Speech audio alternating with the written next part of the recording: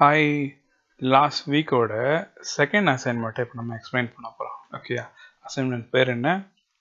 Removing different number two okay ஆனால் இதுக்கு முன்னாடி நான் பொட்டேட்டோ குக் பண்ண கதை நான் சொன்னேன்னா நீங்கள் கவனிச்சிங்களா? இல்லைன்னா போன வீடியோ பார்த்துருக்கேன் மறக்காம. நான் ஓகே நான் எல்லாமே சால்வ் பண்ணிட்டேன் எல்லாம் கரெக்ட் பார்க்க மாட்டேன். அந்த மாதிரி கிடையாது ஓகே அதை நீங்கள் சால்வ் பண்ணியிருந்தாலும் அதில் வேற ஏதாவது கற்றுக்கிறதுக்கு இருக்கா? என்ன டெக்னிக் மற்றவங்க யூஸ் பண்ணுறாங்க ஒரு பொசிஷனை அஞ்சு நிமிஷத்தில் நம்மளால் கண்டுபிடிக்க முடியுதா?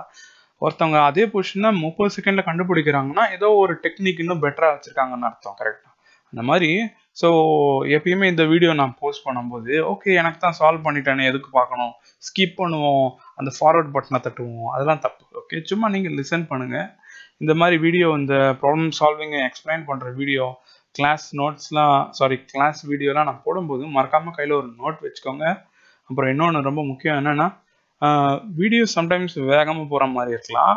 உங்களுக்கு எப்பயாவது எதாவது புரியலன்னா அப்பயே அந்த பொசிஷனில் பாஸ் பண்ணி என்ன செய்யணும்? அந்த பொசிஷனை திங்க் பண்ணி பார்க்கணும் ஓகேயா ஃபார் எக்ஸாம்பிள் ஸ்பேஸ் பார் பெரிய பட்டன் இருக்குல்ல தட்டினா பாஸ் ஆகிடும் ஓகே ஸோ இப்போ என்ன பண்ணுறோம் இந்த செகண்ட் அசைன்மெண்ட்டை நம்ம சால்வ் பண்ண போகிறோம் ரெடியா removing the different to own பண்ணிட்டேன். என்ன பண்ணுறோம் நம்ம என்னோட இமெயிலை கொடுத்துட்டு உள்ளே போகிறோம் ஓகேயா ஸோ கான்செப்ட் என்னது? Remove removing the defender okay defender கண்டுபிடிச்சா தான் ரிமூவ் பண்ண முடியும் இல்லையா? ஸோ இது எல்லாத்துக்கும் என்ன ரொம்ப முக்கியம்னா பொசிஷனை ஒழுங்காக அப்சர்வ் பண்ணணும் கவனிக்கணும் ஓகேயா அதாவது எப்படின்னா டிடெக்டிவ் ஒர்க் மாதிரி. ஃபார் எக்ஸாம்பிள் இப்போ போலீஸ்லாம் இருக்காங்க இல்லையா? அப்போ போலீஸ் இதில் பார்த்தீங்கன்னா ஃபாரன்சிக்னு ஒரு டிபார்ட்மெண்ட் இருக்குது அவங்க வேலை என்ன தெரியுமா? டிடெக்டிவ் வேலை மாதிரியே. ஸோ இப்போ ஒரு இடத்துல ஏதோ ஒரு பொருள் காணாமல் போச்சு அப்படின்னு வச்சுக்கோ. ஸோ ஃபஸ்ட்டு என்ன பண்ணுவாங்க? இந்த டிபார்ட்மெண்ட் கூப்பிடுவாங்க. வாங்க சார் எனக்கு ஒரு ஹெல்ப் பண்ணுங்க அப்படி சொல்லுவாங்க. ஸோ அவங்க என்ன பண்ணுவாங்கன்னா வந்து ஓகே பெரிய மேக்னிஃபையிங் கிளாஸ்லாம் வச்சுருவாங்க பெரிய பூத கண்ணாடி சொல்லுவாங்க இல்லையா? ஸோ அந்த மாதிரி எங்கெல்லாம் க்ளூ கிடைக்குது அப்படின்னு பார்ப்பாங்க. நான் சொல்கிறது புரியுதா? ஸோ அதெல்லாம் பார்த்து என்ன பண்ணுவாங்க? அவங்களுக்கு கிடைக்கிற க்ளூ குட்டி குட்டி ஃபிங்கர் பிரிண்ட்டு அதெல்லாம் வச்சு அதை கரெக்டாக கிளாஸிஃபை பண்ணி எடுத்து சேஃபாக வச்சுருவாங்க. அடுத்தது அந்த கேஸை யார் சால்வ் பண்ணுறாங்களோ அதை வச்சு அவங்க சால்வ் பண்ணிடுவாங்க. புரிஞ்சுதா? ஓகே ஸோ இப்போ அந்த மாதிரி ஒரு பொசிஷனை எடுத்த உடனே நம்ம புரிஞ்சுக்க ட்ரை பண்ணணும். அந்த டிடெக்டிவ் மாதிரி. புரிஞ்சுதா?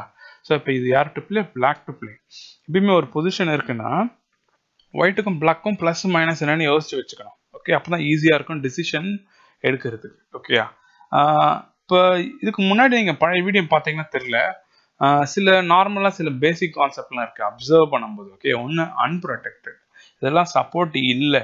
ஓகே ரெண்டாவது என்னது? கிரிட்டிக்கல் பாயிண்ட் கிரிட்டிக்கல் பாயிண்ட் என்ன அர்த்தம்னா number of defender is equal to number of attacker ஒரு ஒரு பர்டிகுலர் ஸ்கொயரில் இல்லைன்னா ஒரு பர்டிகுலர் பீஸோ போனோம் அந்த இடத்துல. ஃபார் எக்ஸாம்பிள் இந்த இடத்துல பி டூ போன இருக்கா இந்த இடத்துல பார்த்தீங்கன்னா குயின் அட்டாக் பண்ணது கிங் டிஃபெண்ட் போனது. ஒரு அட்டாக்கர் ஒரு டிஃபெண்டர் அந்த மாதிரி தான் புரிஞ்சுதா? இது இதுக்கப்புறம் இன்னும் ஒரு முக்கியமான கான்செப்ட் ஒன்று முன்னாடி வேற ஒரு வீடியோவில் பார்த்துருக்கோம் அலைன்மெண்ட் ஏஎல்ஐஜிஎன்எம்இஎன்டி அலைன்மெண்ட்னா என்ன அர்த்தம்னா யாரெல்லாம் நேர் கோடில் இருக்காங்களோ அதெல்லாம் அலைன்மெண்ட் ஸோ அதெல்லாம் கரெக்டாக நீங்கள் பார்த்துக்கிட்டிங்கன்னா உங்களுக்கு ஒரு சூப்பர் ஐடியா கிடைக்கும். இந்த பொசிஷனில் ஃபார் எக்ஸாம்பிள் பார்த்தீங்கன்னா இது ஒரு கிரிட்டிக்கல் பாயிண்ட் சொல்லிட்டோம். இப்படி பார்த்தீங்கன்னா இங்கே இந்த பிஷப் இருக்குது குட்டில் ஒரு பான் இருக்குது இந்த பான் இல்லைன்னா அப்போ என்ன வருது கீழே பீட்டில் மேட்டே அடிச்சிடலாம் இல்லையா? ஆனால் இது ஒரு அலைன்மெண்ட் கரெக்டாக இதில் நம்ம என்ன பண்ணோம்னா அப்சர்வ் பண்ணுவோம். கரெக்டாக இப்போ போன கதை போன வீடியோவில் ஒரு கதை சொன்னேன். இப்போ என்னோட இப்போ நான் சமைக்கும் போது ஒரு சின்ன பொட்டேட்டோ வச்சு சின்னோண்டு அவிச்ச பொட்டேட்டோ செய்கிறேன் ஆனால் எங்கள் அம்மா என்ன இன்னமும் பண்ணுவாங்க பொட்டேட்டோ அது செஞ்சு இது செஞ்சு நிறைய பாட்டில் பாட்டிலாக வச்சுருப்பாங்க. இதில் கொஞ்சம் அதில் கொஞ்சம் போட்டு பொட்டேட்டோலேயே பயங்கரமான டிஷ் செய்வாங்க. கரெக்டாக அவங்க எக்ஸ்பர்ட் நான் இப்போ தான் பிகினர் இப்போ தான் இன்டர்மீடியட் தான் கற்றுக்கிறேன் கரெக்டாக அந்த மாதிரி ஸோ நம்மளோட பேக்கில் இருக்க டூல்ஸ் கம்மியாக இருக்கும். எக்ஸ்பர்ட்டுக்கு நிறையா டூல்ஸ் இருக்கும். புரியுதா? ஸோ இப்போ ஸ்டார்டிங் லெவலில் அவங்களும் ஆனால் எப்படி சின்ன சின்னதாக இதான் போட்டேட்டோ இதை அவிக்கணும். அப்படிதான் கற்றுருப்பாங்க கரெக்டாக ஓகே இது இந்த பவுடர் தான் ஓகே இந்த ஃப்ளேவர் கொடுக்கும். இந்த பவுடர் அந்த ஃப்ளேவர் கொடுக்கும். அந்த மாதிரி என்ன செஞ்சுருப்பாங்க? அது ஒன்று ஒன்றா சின்ன வயசில் கற்றுருப்பாங்க இல்லையா?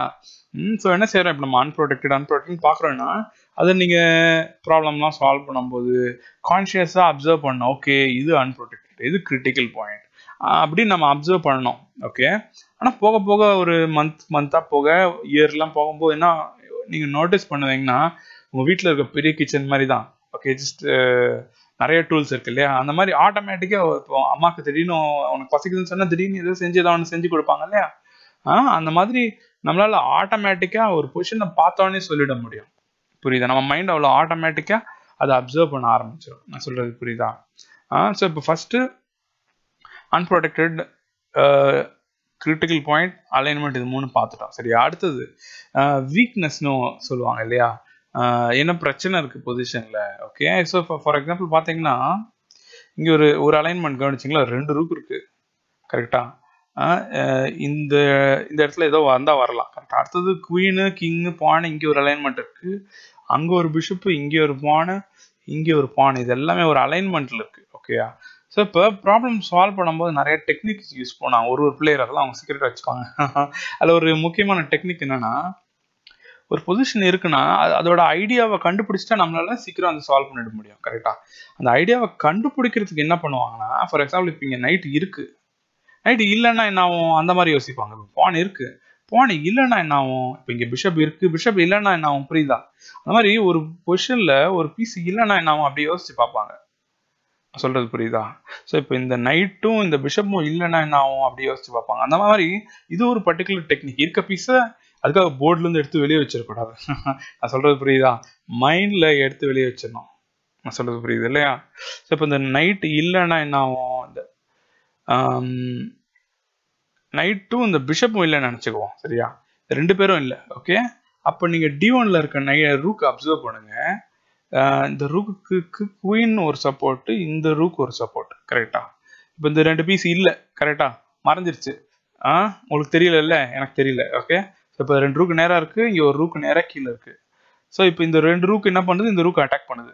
ஒரு டைரக்ட் அட்டாக்கர் இந்த ரூக்கு டைரக்ட் அட்டாக் பண்ணுது. இது பின்னாடி இருக்க ரூக்கு இன்டைரக்டாக இந்த ரூக்கு அட்டாக் பண்ணுது. ஸோ இதுக்கு ரெண்டு அட்டாக்கர்னு வச்சுக்குவோம். ரெண்டு டிஃபெண்டர் இருக்காங்க.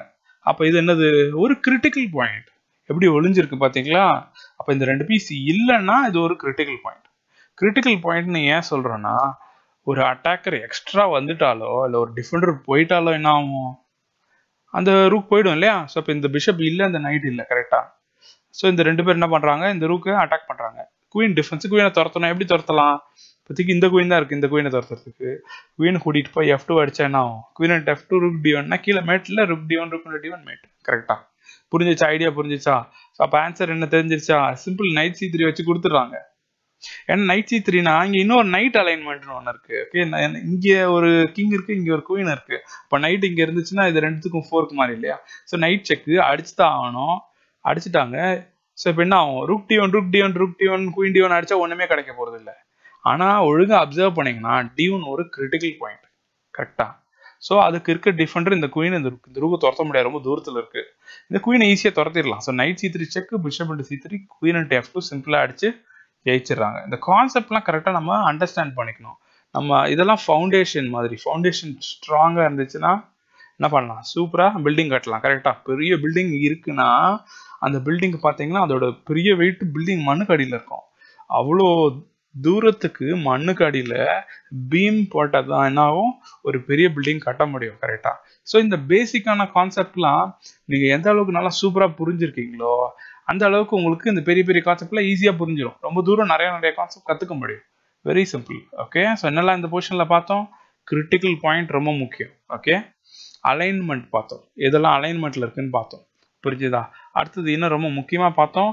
ஒரு ப்ராப்ளம் சால்வ் பண்ணுற ஒரு டெக்னிக் ஒன்று கற்றுக்கிட்டோம் இருக்கிற பீஸை இல்லைன்னா என்ன ஆகும்னு யோசிக்கிறது. ஸோ என்ன ஆகும்னா அந்த மாதிரி ஒரு இருக்க பீஸை எடுத்து வெளியே வச்சுட்டு யோசிக்கும் போது டோர்னமெண்ட்ல ஓகே சார் சொன்னார் அப்படின்னு ஒரு நைட் தூக்கி வெளியே வச்சுட்டு யோசிக்க கூடாது ஓகேயா ஸோ இருக்க பீஸை மைண்ட்ல இல்லாத மாதிரி நீங்கள் யோசிக்கும் போது உங்களுக்கு ஐடியா கிடைச்சிடும் ஐடியா கிடைச்சிருச்சுன்னா அதை பேஸ் பண்ணி நீங்கள் வேரியேஷன் கால்குலேட் பண்ணி போர்டில் மூவ் வச்சு ஜெயிச்சிடலாம். வெரி சிம்பிள் ஓகே அது புரிஞ்சிச்சா நம்ம இப்போ அடுத்த பொசிஷன் போகலாம் ஓகே அடுத்த பொசிஷன் பிளாக் டு பிளே நான் என்ன சொல்லியிருக்கேன்? எடுத்த உடனே பொசிஷன் அப்சர்வ் பண்ணோம் ஓகே மெட்டீரியல் இருந்து கூட ஆரம்பிக்கலாம். ஒயிட்டுக்கு ஆறு பான் இருக்கு. ரெண்டு பிஷப் இருக்கு ரெண்டு ரூக் ஒரு குயின் இருக்கு. பிளாக்குக்கு பிளாக்குக்கும் ஆறு பான் ரெண்டு மைனர் பீஸ் ரெண்டு ரூக் குயின் கிங்க ஓகே ஸோ பொசிஷன் படி இந்த ஈக்குவலாக இருக்கு மெட்டீரியல் ஓகேயா அடுத்தது என்ன செய்யறோம்னா அலைன்மெண்ட்லாம் பார்க்கணும். ஓகேயா வீக்னஸ் பார்க்கணும். ரெண்டு பேருக்கும் முக்கியமாக கரெக்டாக ஸோ இப்போ அலைன்மெண்ட்டு கிரிட்டிக்கல் பாயிண்ட் பார்க்கணும். உங்களுக்கு என்ன தோணுது? இப்போ குயின் இங்கே இருக்குது ஓகே அந்த இந்த பிளாக் கிங் சாரி இந்த ஒயிட் கிங் பக்கத்துலேயே இருக்குது இப்போ ஹெச் டூ பாயிண்ட் பார்த்தீங்கன்னா இது ஒரு கிரிட்டிக்கல் பாயிண்ட் ஒரு அட்டாக்கர் ஒரு டிஃபெண்டர் கரெக்டாக இதுக்கு நம்ம இன்னொரு அட்டாக்கர் கொண்டு வந்தால் நம்ம மேட்டே அடிச்சிடலாம். ஆனால் அதான் ட்ரிக்கான விஷயம் ஓகே இப்போ இந்த ஜி த்ரீ கூட பார்த்தீங்கன்னா கிரிட்டிக்கல் ரெண்டு அட்டாக்கர் இருக்காங்க ஒரு சாரி ரெண்டு அட்டாக்கர் ரெண்டு டிஃபெண்டர் புரியுதா? இப்போ ஜி த்ரீ நான் இப்போ நைட்டில் வெட்டினேன்னா அவங்களுக்கு குயின் இருக்குது பான் இருக்குது கரெக்டாக ஸோ நமக்கு நைட்டு குயின் இருக்குது ஸோ ரெண்டு அட்டாக்கர் ரெண்டு டிஃபரெண்ட் இதுக்கு என்ன அர்த்தம். இப்போ குயின் இல்லைன்னா knight to G three knight defend piece போகுது. புரியுதா? ஸோ குயின் இல்லைன்னா ஓகே ஸோ இதெல்லாம் பார்த்துட்டோமா? அடுத்தது என்னது? அலைன்மெண்ட்லாம் பார்ப்போமா?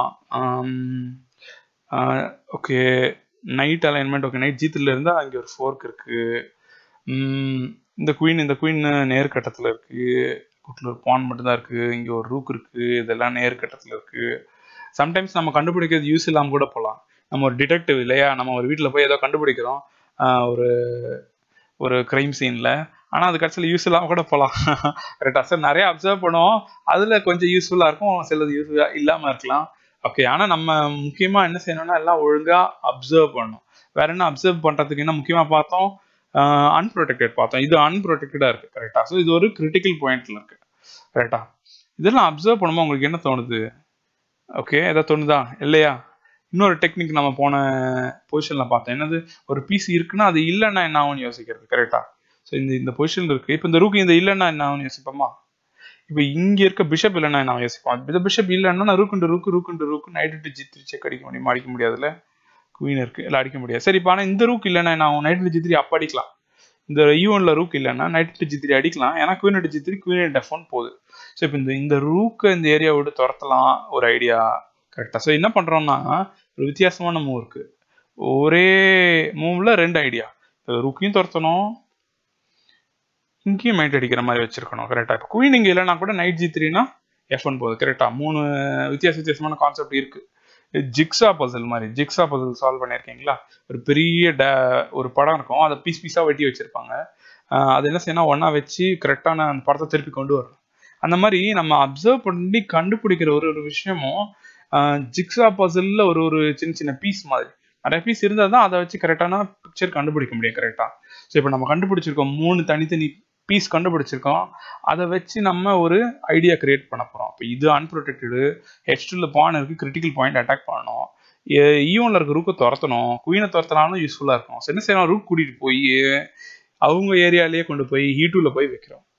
இதுக்கு என்ன ஐடியானா இப்போ ரூக் இன்ட்டு ரூக்கை அடிச்சா என்ன ஆகும்? நைட் இன்ட்டு சித்ரி செக் அடிச்சிடலாம் கரெக்டாக ஏன்னா ரூக் இங்கே இல்லைல்ல. ஸோ இப்போ குயின் அடிச்சா குயின் எஃப் ஒன் செக் வந்துருது. கரெக்டாக ரூக் இல்லைன்னா இது கிரிட்டிக் இப்போ இந்த e ஈவனில் ரூக் இல்லைன்னா எஃப் ஒன் கிரிட்டிக்கல் பாயிண்ட் ஒரு அட்டாக்கர் ஒரு டிஃபெண்டர் அப்போ நைட் டிஜிட் செக் அடிக்கும்போது ஒரு டிஃபெண்டர் வெளியே போயிடுது எஃப் ஒன் சும்மா அடிச்சிடும் கரெக்டாக ஸோ இப்போ ரூக்கி டூ e சும்மா விட்டாங்கன்னா ஆக்சுவலி மேட் இல்லை. அவ்வளோதான் முடிஞ்சிருச்சு. ஸோ இது ரொம்ப கஷ்டமான பொசிஷன் மாதிரி இருக்கலாம். நிறைய பேர் ஆக்சுவலி கண்டுபிடிக்கல. ஆனால் இதில் என்ன ரொம்ப அதே பேசிக் சிம்பிள் கான்செப்ட் தான். கிரிட்டிக்கல் பாயிண்ட் பார்க்கணும் அலைன்மெண்ட் பார்க்கணும் வேற என்ன பார்த்தோம்? அன்ப்ரொடெக்டட் பார்க்கணும். அப்புறம் அந்த ஒரு டெக்னிக் சொன்னோம் இல்லையா? ப்ராப்ளம் சால்வ் பண்ணுறதுக்கு ஒரு பீஸ் இருக்குன்னா அது இல்லைன்னா என்ன ஆகும்? இது இல்லைனா என்ன ஆகும்? அப்படி யோசிக்கும் போது ஐடியா கண்டுபிடிச்சிட முடியும். ஓகே அடுத்த பொசிஷன் போகலாம் பிளாக் டு பிளே ஓகே இது அதே ஆக்சுவலி இது ரொம்ப ஈஸி இது. குயின் இல்லைன்னா என்ன ஆகும்? குயின் ஜி டு மேட்டு ஏன்னா இங்கே பிஷப் இருக்கு பி சேனலில் ஒழுங்காக அப்சர்வ் பண்ணணும். சரியா? போர்டு ஃபுல்லாக பார்க்கணும். எதையும் விட்டுடக்கூடாது போர்டு ஃபுல்லாக பார்க்கணும் ஓகே இந்த பிஷப்பை நீங்கள் பார்த்துருப்பீங்கன்னு நினைக்கிறேன். ஸோ இப்போ இந்த குயின் இல்லைன்னா குயின் ஜி டு மேட் ஆனால் குயின் இருக்கு குயினை துரத்தணும். எப்படி துரத்தலாம்? பிஷப் இன்டு டிஃபர் அடிச்சு துரத்துற மாதிரி இருக்கு ஆனால் ரூக் இன்டு டிஃபர் வருது. அப்போ இந்த நைட்டை டிஃபெண்ட் பண்ணுற இந்த ரூக்கை துரத்துறோம். சொல்லுங்க புரியுதா? அப்போ இந்த ரூக்கை துரத்திட்டா அடுத்தது பிஷப் டிஃபர் அடிச்சு queen D four queen G two mate அப்போ இந்த ரூக்கு துரத்துறதுக்கு என்னெல்லாம் ஐடியா இருக்குன்னு யோசிக்கணும். என்ன இருக்கு? ருக் யூ அண்ட் செக்னு ஒரு சூப்பர் சாக்ரிஃபைஸ் இருக்கு. ருக் டி ஒன் அடிச்சா bishop D four queen G mate ரொம்ப சிம்பிளாக இருக்கு இல்லையா? நம்ம அந்த கான்செப்ட்லாம் கற்றுக்க கற்றுக்க ப்ராப்ளம் சால்வ் பண்ணும்போது அது இன்னும் சிம்பிள் ஆகிட்டே போகும். ஓகேயா அடுத்த பொசிஷன் போகலாம் ஓகே ஃபோர்த் பொசிஷன் யார் to play black to play பொசிஷனை ஒழுங்காக அப்சர்வ் பண்ணுறோம் ஃபர்ஸ்ட் மெட்டீரியல் மூணு பான் மூணு மைனர் பீஸு ஒரு ரூக்கு குயின் இருக்குது பிளாக்குக்கு அஞ்சு பான் ரெண்டு மைனர் பீஸ் இருக்குது ரூக்கு குயின் இருக்குது மூணு பவுன் ரெண்டு பவுன் அஞ்சு பவுன். ஓகே பீஸுக்கு ரெண்டு பவுன் நினைக்கிறேன் இல்லை ஒயிட் ஒரு பீஸ் எக்ஸ்ட்ரா வச்சிருக்கு ரெண்டு பவுன் இருக்கு. ஆனால் அந்த எக்ஸ்ட்ரா வச்சிருக்க மெட்டீரியலுக்கு பதிலும் ஒயிட் கிங் சுத்தமாக வீக்காக இருக்கு. ஒயிட் கிங் விட்டா மேட் அடிச்சிடும் போல இருக்குல்ல ஹெச் ஒன் ஸ்கொயர் இருக்கு இல்லையா? நான் எதுவும் சொல்லியிருக்கேன்ல கிரிட்டிக்கல் பாயிண்ட்ன்ற கான்செப்டை நம்ம ஸ்கொயருக்கும் அப்ளை பண்ண முடியும் இப்போ ஹெச் ஒன் ஒரு கிரிட்டிக்கல் பாயிண்ட் ஏன்னா ஒரு அட்டாக்கர் இருக்குது ஒரு டிஃபெண்டர் இருக்குது குயின் அங்கே இருந்தால் மேட் வேறு இல்லையா? அந்த நைட் இல்லைண்ணா கரெக்டாக ஸோ இதெல்லாம் அப்சர்வ் பண்ணிட்டோம் கரெக்டாக இப்போ ஜி த்ரீல இருக்க நைட் கிரிட்டிக்கல் பாயிண்ட் ஏன்னா ஒரு அட்டாக்கர் ஒரு டிஃபெண்டர் இருக்கு. குயின் தான் அந்த நைட்டை டிஃபெண்ட் பண்ணிட்டு இருக்கு. அப்போ குயினை துரத்திட்டா queen to G three check mate கரெக்டா அப்போ குயின் எப்படி துரத்துறது? பிஷப் வச்சு துரத்த முடியாது. ரூக் வச்சு துரத்தலாம். ஆனால் ரூக் டி டூ வச்சா பிஷப்பால் அடிச்சிடறாங்க கரெக்டா குயின் டூ அடிச்சா குயின் ஜி த்ரீ மேட்டு பிஷப்பால் அடிச்சிடறாங்க. ஆனால் இப்போ தான் நமக்கு ஒரு சூப்பர் கேல்குலேஷனில் ஒரு சூப்பர் மூவ் தோணுது. நம்ம பிஷப் டி ஃபோரில் இருக்கலாம் இல்லையா? ஸோ எப்பயுமே என்ன செய்யணும்னா இது என்ன சொல்லுவாங்க டெப்த்துன்னு சொல்லுவாங்க. கரெக்டாக இப்போ ஒரு ரூக் கூட்டிகிட்டு போய் நான் டி டூவில் வைக்கிறேன்னா இது ஆரமோ டெப்த் புரியுதா? டெப்த்னா கிணறு இருக்கா? சின்ன கிணறு இருக்கு பெரிய கிணறு இருக்குது அது ஆழம்னு சொல்லுவாங்க இல்லையா? ஸோ இப்போ ரூப் டி டூ அரமும் இதுக்கு பிஷப் டி டூ அரமும் ஸோ இப்போ உங்கள் வேரியேஷன் ஒரு மூவ் டெப்த் இதுக்கு நீங்கள் பிஷப் டி ஃபோர் பார்த்தீங்கன்னா ஒன்றரை மூவ் டெப்த் இதுக்கு நீங்கள் குவினிட்டு டி ஃபோர் பார்த்தீங்கன்னா ரெண்டு மூவ் டெப்த் இதுக்கு குவினிட்டு ஜி த்ரீ செக் மேட் கரெக்டாக ஸோ ரெண்டரை மூவ் அவ்வளோதான் ஸோ இப்போ நீங்கள் பார்த்த வேரியேஷன் ரெண்டரை மூவ் இது என்ன சொல்லுவாங்கன்னா டெப்த்னு சொல்லுவாங்க. D E P T H depth okay so rook D தான் ஆன்சர் என்ன ஐடியா கிரிட்டிக்கல் பாயிண்ட் முதல்ல பார்த்தோம். அது டிஃபெண்டர் யார் பார்த்தோம். டிஃபெண்டர் எப்படி துரத்துறதுன்னு பார்த்தோம். வெரி சிம்பிள் அடுத்த கொஸ்டின் போகலாமா ஓகே இதில் ஆக்சுவலி நிறைய பேர் ஒரு கன்ஃபியூஷனில் வந்துட்டீங்க. அதாவது ஒரு பொசிஷன் கேல்குலேஷன் நம்ம சூப்பரா இருக்கணும்னா விஷுவலைசேஷனில் நம்ம சூப்பராக இருக்கணும். அதுக்கு என்ன அர்த்தம்? இப்போ இந்த பொசிஷனை ரெண்டு நிமிஷம் யோசிச்சிருக்கீங்கன்னா கண்ணை மூடினா எந்த பீஸ் எங்கே இருக்குன்னு தெரியணும். ஓகே அது கேல்குலேட் பண்ணால் பீஸ் காணாமல் போயிடக்கூடாது. கேல்குலேட் ஈஸியாக பண்ண முடியும் அந்த பீஸ் அங்கே போகுதுன்னா அங்கே போகுது. ஓகே அந்த பீஸ் திருப்பி அங்கேயே இருக்கக்கூடாது. புரிஞ்சுதா? நிறைய பேர் என்ன பண்ணாங்கன்னா இந்த பொசிஷனில் சொல்லலாம் um, இப்போ இந்த நைட் ஈ e இருக்கா? நைட் திருப்பி ஜி சிக்ஸில் போயிடும். திருப்பி நைட் ஈ செவன்ல இருக்க மாதிரியே நினச்சிட்டு அதே நைட்டை கொண்டுட்டு போய் ஜி எயிட்டில் இருப்பாங்க இதெல்லாம் விஷுவலைசேஷன்ல நீங்க ஸ்ட்ராங்கா இல்லைன்னு அர்த்தம். நான் சொல்றது புரியுதா? இப்போ செடி நல்லா சூப்பரா பெருசா வரணும்னா மண்ணு சூப்பரா இருக்கணும் கரெக்டா மண்ணில் நியூட்ரிஷன்லாம் இருக்கணும். அந்த மாதிரி கால்குலேஷன்ல சூப்பரா இருக்கணும் அதுல ஒரு முக்கியமான பில்லர் என்ன? பில்லர்னு ஏன் சொல்றேன்? பில்டிங்க்கு பில்லர் இருந்தால் தான் பில்டிங் நிற்கும் இல்லையா? அந்த மாதிரி கேல்குலேஷனுக்கு ஒரு முக்கியமான பில்லர் என்னன்னா விஷுவலைசேஷன் ஸ்ட்ராங்கா இருக்கணும். ஓகே அதுக்கு தனியா ப்ராக்டிஸ் பண்ணணும். பொசிஷன்லாம் நீங்க எப்படி பீஸ் இந்த மாதிரி ரெண்டு நிமிஷம் பார்த்துட்டு கண்ண மூடி பொசிஷன் ஞாபகம் இருக்கா பாருங்க. அப்படியே சால்வ் பண்ண ட்ரை பண்ணுங்க. இது ஒரு சின்ன டெக்னிக் ஓகே ஸோ இந்த பொசிஷன் அப்சர்வ் பண்றோம். ஓகே இப்போ இந்த எந்த பீஸ் இல்லைன்னா என்ன ஆகும்? அப்படி சால்வ் பண்ணால் இந்த டெக்னிக்கில் இது ஈஸியாக சால்வ் பண்ணிடலாம். ஓகே ஃபார் எக்ஸாம்பிள் இந்த எஃப் செவனில் இருக்க நைட் இல்லைன்னா குவீன் ஹெச் எயிட் செக் வருது. இதுக்கு நைட் ஜி எயிட் ஒன்லியும் இதுக்கு நிறைய பேர் queen H G eight check mate மேட்னு எழுதிடுறாங்க. ஏன்னா இங்கே இருக்க நைட்டை மறந்துடுறாங்க. நைட் போயிடுச்சுன்றதை மறந்துடுறாங்க சரி இப்போ குயின் எயிட் ஜேனா கிங் ஈசன் வந்துடும் இல்லையா? ஸோ இப்போ இந்த எஸ்னால நைட் இல்லை குயின் ஹெச் எயிட் செக் வச்சா நைட் ஜி எயிட் வைப்பாங்களா இதுக்கு நைட் ஜி சிக்ஸ்னா மேட் கரெக்டா இப்போ இ செவனில் நைட் இல்லைன்னா நேராக நைட் ஜி சிக்ஸ் மேட் இந்த ரெண்டு லைட்டில் எந்த நைட்டை துரத்தினாலும் செக் மேட் ஆயிடுது கரெக்டா இந்த ஜி செவனில் பான் இல்லைன்னா குவீன் டெஸ்டன் மேட் இதெல்லாம் பார்த்துட்டோமா? இப்போ இதெல்லாம் ஒரே மூவில் நம்ம செயல்படுத்தணும். என்ன செய்யறாங்கன்னா பிஷப் இன்டூ ஹெட் சிக்ஸ் அடிச்சிடுறாங்க. ஏன்னா இப்போ நைட்டால் அடித்தா நம்ம பார்த்த வேரியேஷன் ஜியால அடிச்சேன்னா குவீன் டெசன் மேட் நைட்டில் அடிச்சு என்ன பார்த்தோம்? Queen H eight check knight G eight knight G six mate ஆனால் எனக்கு தெரிஞ்சு நம்ம இந்த ஒரு மூணு பேராச்சும் என்ன பண்ணாங்கன்னா queen G eight mate jolly அப்படின்னு எழுதிட்டாங்க. அவங்க எல்லாருக்கும் நான் என்ன பண்ணேன்? ஐ ஜாலி ரெண்டு பாயிண்ட் சாப்பிட்டுட்டேன். அஞ்சுக்கு பதில் மூணு பாயிண்ட் தான் கொடுத்துருக்கேன். ஓகே ஸோ எப்பயுமே கேல்குலேட் பண்ணும்போது கேர்ஃபுல்லாக கேல்குலேட் பண்ணுவோம் எஸ்பெஷலாக அட்டாக் பண்ணும்போது. ஏன்னா நீங்கள் சாக்லாம் அடித்து நீங்கள் அட்டாக் பண்ணும்போது ஒரு சின்ன தப்பு பண்ணாலும் எல்லாமே வேஸ்ட்டாக போயிடும். அடிச்சு சாக்கெல்லாம் வேஸ்ட்டாக போயிடும். நீங்கள் பீஸ் டவுனில் விளையாடுற மாதிரி ஆகிடும் நான் சொல்கிறது புரியுதா? ஸோ தப்புலாம் நல்லா ஞாபகம் வச்சுக்கோங்க. ஓகே நல்லா ப்ராக்டிஸ் பண்ணுங்கள் ப்ராப்ளம் சால்வ் பண்ணும்போது இதை பற்றிலாம் திங்க் பண்ணி பாருங்கள் ஓகே ஆல் தி பெஸ்ட்